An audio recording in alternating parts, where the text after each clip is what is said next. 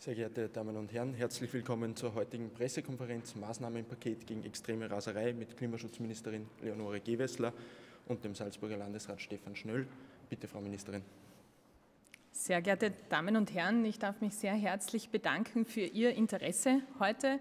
Lieber Herr Landesrat Schnöll, lieber Stefan, auch an dieser Stelle gleich zu Beginn ein wirklich sehr herzliches Danke für die gute Zusammenarbeit der letzten Wochen und Monate zu diesem enorm wichtigen Thema für uns. Das waren nämlich Wochen und Monate, in denen wir regelmäßig auch in den Zeitungen, in der medialen Berichterstattung davon gelesen oder gesehen haben, dass es dramatische Unfälle auf unseren Straßen gibt. Unfälle mit teilweise schwer verletzten Personen, mit Toten, verursacht durch rücksichtslose Raser, die sich und andere ganz bewusst gefährden.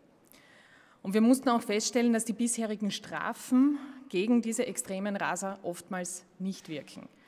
Es handelt sich dabei um Wiederholungstäter, die ganz bewusst das Leben, die Gefährdung von Leben, ihr eigenes, das von anderen Menschen in Kauf nehmen. Es sind unbelehrbare Wiederholungstäter, die sich von Geldstrafen oder einem kurzen Führerscheinentzug nicht abschrecken lassen. Und ich habe aus diesem Grund bereits im vergangenen Jahr, gerade nach einem tragischen Unfall in Salzburg, angekündigt, dass wir hier ein Maßnahmenpaket gegen extreme Raserei in die Umsetzung bringen werden. Und wir haben in den letzten Monaten gemeinsam mit den Bundesländern, gemeinsam mit Fachleuten, gemeinsam auch mit dem Innenministerium an einer guten Lösung gearbeitet. Und ich bin sehr froh, dass wir heute im Ministerrat einen Fünf-Punkte-Plan gegen extreme Raserei gemeinsam beschließen werden. Erstens, wir erhöhen den Strafrahmen für überhöhte Geschwindigkeit von 2.180 Euro auf 5.000 Euro. Wir verdoppeln die Mindestentzugsdauer des Führerscheins. Wir verdoppeln den Beobachtungszeitraum für wiederholte Geschwindigkeitsübertretungen von zwei auf vier Jahre. Und weil wir gesehen haben, dass alleine das noch nicht reicht, um diese ganz besonders gefährlichen Raser von unseren Straßen daran zu hindern, dass sie uns alle gefährden, setzen wir auch vollständig neue Maßnahmen um. Der vierte Punkt des Pakets ist daher, dass die Teilnahme an illegalen Straßenrennen ein besonders gefährliches Delikt in der Straßenverkehrsordnung wird. Das bedeutet nicht nur den Entzug der Lenkerberechtigung für mindestens sechs Monate, sondern auch eine verpflichtende Nachschulung und im Wiederholungsfall eine verkehrspsychologische Untersuchung. Und dabei wird auch ganz grundlegend die Eignung für das Lenken eines Fahrzeugs nochmal untersucht.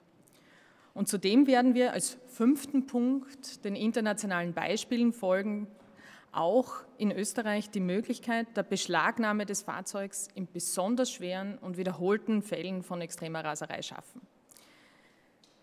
Wer sich durch hohe Geldstrafen, durch Führerscheinentzug, durch alle anderen Maßnahmen nicht davon abhalten lässt, das Leben anderer zu gefährden, oft völlig unbeteiligte Verkehrsteilnehmer und Verkehrsteilnehmerinnen zu gefährden, dem soll in Zukunft auch das Fahrzeug entzogen werden können. Gefährliche Straßenrennen mit 116 km/h durch die 30er-Zone auf der Autobahn mit 254 km/h sich ein Rennen liefern, das sind unvorstellbare Geschwindigkeiten. Das ist eine reale Gefahr auf unseren Straßen. Und darum bringen wir heute im Ministerrat dieses Fünf-Punkte-Paket auf den Weg. Wir werden das so rasch wie möglich umsetzen. Die ersten vier Punkte inklusive des neuen Delikts gegen illegale Straßenrennen werden wir nun äh, so rasch wie möglich in Begutachtung schicken und diese Maßnahmen sollen noch vor dem Sommer in Kraft treten. Für die Beschlagnahme des Fahrzeugs gibt es bereits eine positive Stellungnahme auch des Verfassungsdienstes, die uns die Möglichkeit und die rechtlichen Möglichkeiten bescheinigt. Und hier werden wir noch gemeinsam an der konkreten Ausgestaltung arbeiten. Diese Maßnahme soll bis Jahresende beschlossen werden. Ich möchte noch etwas ganz Grundsätzliches sagen. Menschen, die bei Verkehrsunfällen sterben, sind nicht nur eine Zahl in einer Statistik. Menschen, die bei Verkehrsunfällen sterben, sind Familienmitglieder, sind Freunde, Freundinnen, sind Arbeitskollegen, sind Verwandte. Und jeder und jede einzelne Tote auf unseren Straßen ist eine und einer zu viel. Ein Kind, ein Elternteil, das von rücksichtslosen und extremen Rasern, gefährlichem Fehlverhalten, das aufgrund dessen ein Leben verliert. Das können wir nicht einfach hinnehmen, das ist mehr als eine Statistik. Und ich möchte mich deswegen an dieser Stelle auch nochmal ganz herzlich bedanken bei allen, die in den letzten Monaten unter teils wirklich großem persönlichen Einsatz auf dieses Problem aufmerksam gemacht haben, die uns dazu aufgefordert haben, hier muss mehr getan werden. Mit dem heutigen Maßnahmenpaket gegen extreme Raserei machen wir genau das. Wir verschärfen die Gangart gegen illegale Straßenrennen. Wir werden in Zukunft härter gegen diesen ganz kleinen Teil der Lenker vorgehen, der völlig unbelehrbar und rücksichtslos uns alle gefährdet, mit höheren Strafen, mit einem längeren Führerscheinentzug und in letzter Konsequenz auch mit der Beschlagnahme des Autos. Denn genau das brauchen wir für mehr Verkehrssicherheit auf unseren Straßen, für uns alle. Herzlichen Dank. Vielen Dank, Frau Ministerin. Bitte, Herr Landesrat. Danke. Danke, Frau Minister, sehr geehrte Damen und Herren. Ich bin sehr froh, dass wir dieses, Gesetz, äh, dieses Gesetzespaket jetzt endlich auf den Weg bringen, für uns in den Ländern als äh, vollziehende äh, Behörden letztendlich und auch als, in meinem Fall als Leiter der Landesverkehrsabteilungen der Polizei haben wir jetzt einfach gemerkt, dass wir mit der bestehenden Gesetzeslage nicht mehr das Auslangen finden. Wir haben wirklich einige dramatische Fälle gehabt, du hast einen davon geschildert. Das sind alles Fälle, wo wir wissen, dass das Auto bei äh, überhöhter Geschwindigkeit wirklich zur Waffe wird und äh, letztendlich dann auch immer Menschen nicht nur zu Schaden kommen, sondern ihr Leben verlieren. Äh, vor zwei Wochen in Salzburg im Stadtgebiet ein 17-jähriger Beifahrer, ähm, der hinten auf der Rückbank sitzt und bei einem Rennen offensichtlich und bei einer Raserei mit über 100 km/h im Ortsgebiet sein Leben verloren hat.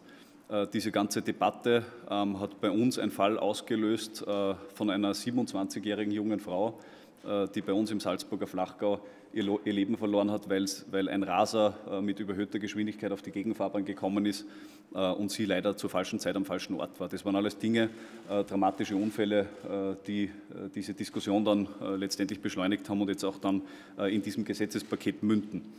Ähm, wir sehen auch grundsätzlich einen Zusammenhang zwischen äh, den Todeszahlen oder den Verkehrsunfällen und der Gesetzeslage. Wir sehen, dass in Ländern, wo es eine sehr strenge Gesetzeslage gibt, äh, die Todeszahlen oder die Verkehrsunfallzahlen wesentlich geringer sind äh, als bei uns in Österreich. Wir schauen da immer ein bisschen neidvoll, sage ich ganz ehrlich, auch in die Schweiz. Das ist auch unser, unser Land, an dem wir uns orientieren wollen, vor allem wenn es um die, um die, um die Beschlagnahmung geht oder auch um andere Delikte geht, die wir anpassen wollen. Äh, Nochmal zur Wiederholung, also für mich besteht das Paket jetzt aus drei äh, Kernmaßnahmen. Das ist die Verdoppelung äh, des Strafrahmens, der es uns dann erlaubt, in den Ländern die Richtsätze entsprechend anzupassen. Das ist die Verdoppelung der Führerscheinentzugsdauer. Ähm, und das ist vor allem diese Beschlagnahme, die du angesprochen hast, weil wir merken, und jeder, der halt das Ö1 Morgenjournal gehört hat, hat den Herrn Winkelmann, den Staatsanwalt aus Deutschland gehört, der uns recht gibt in diesem Vorgehen, weil er sagt, dass die, diese Raserszene sich sehr stark mit dem eigenen Auto identifiziert.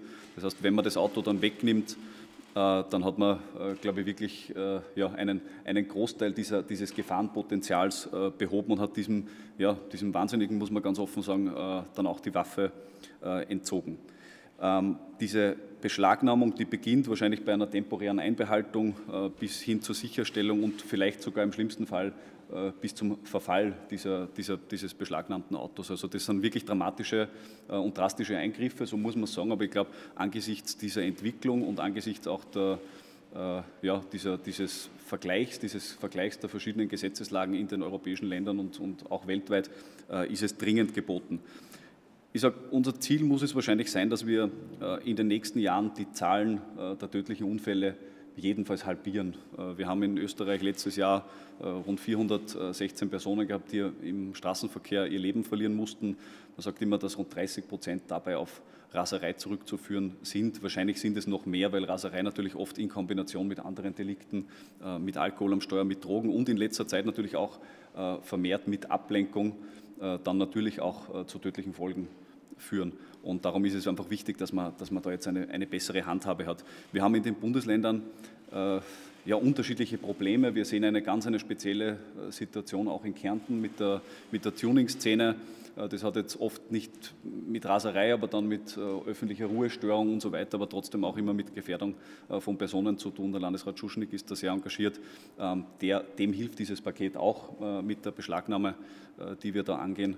Ich glaube, der Vorteil ist, dass es Länder gibt, die es vormachen, die auch zum Erfolg führen. Ähm, das heißt, wir können uns einerseits an denen orientieren, aber wissen gleichzeitig auch, dass es natürlich nicht nur äh, um Strafen geht, sondern dass es natürlich auch um Begleitmaßnahmen geht. Es geht um Präventionsmaßnahmen und so weiter. Also das, was auch von der Öffentlichkeit äh, immer eingefordert ist, das müssen wir natürlich als öffentliche Hand auch liefern, parallel begleitend zu diesem, ähm, zu diesem Gesetz. Aber ich glaube, grundsätzlich muss man sagen, sind wir da jetzt einmal auf einem guten Weg. Das ist natürlich ein dynamischer Prozess, der wird nie enden. Äh, enden tut dieser Kampf gegen die Raser erst dann, wenn die Zahl der Verkehrstoten auf Null ist und das ist unser gemeinsames Ziel. Danke nochmal äh, dir, Frau Minister, für die großartige Zusammenarbeit auch mit deinem Team. Ähm, das funktioniert äh, zwischen Salzburg und, und dir ausgezeichnet, möchte ich an dieser Stelle sagen. Und ich glaube, es ist heute ein, ein wichtiger Tag für den Kampf gegen die Raser. Danke. Vielen Dank, Herr Landesrat. Wir kommen nun zu Ihren Fragen. Frau Kreiner, bitte.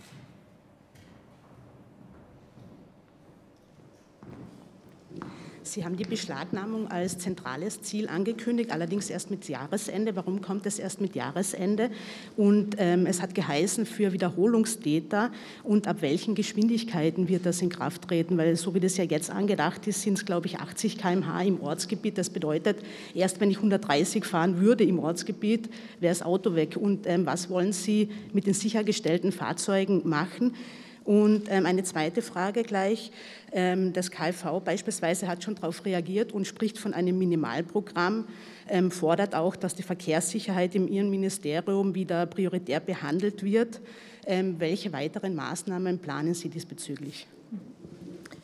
Ich beginne mit der zweiten Frage, denn klar, Verkehrssicherheit, auf das hat auch der Landesrat Schnöll hingewiesen, ist ein Maßnahmenpaket, das aus mehr besteht aus einer Maßnahme, also aus, als aus einem Paket gegen die extreme Raserei. Das ist völlig klar. Deswegen arbeiten wir im Ministerium auch gerade an der Verkehrssicherheitsstrategie 2021 bis 2030. Das wird ein umfassendes äh, Strategiepapier sein, wo wir all die Themen angehen, von der Sicherheit im Ort, von der Sicherheit auf Freilandstraßen, Aufmerksamkeit im Verkehr, also all viele der Fragen, die natürlich in diesem Gesamtkomplex auf unserem Weg zu Null Toten im Straßenverkehr wichtig und enorm wichtig sind.